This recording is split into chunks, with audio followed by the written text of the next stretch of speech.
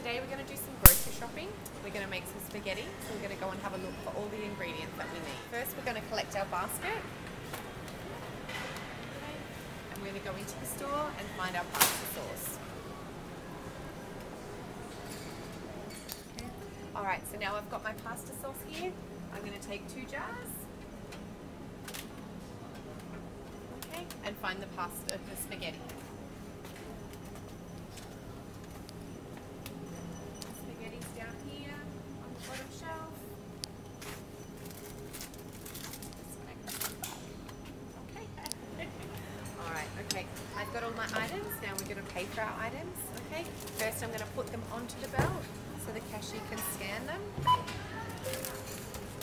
Okay. I'm going to put my basket away so no one trips over it. I'm going to put the items in the plastic bag. Thank you.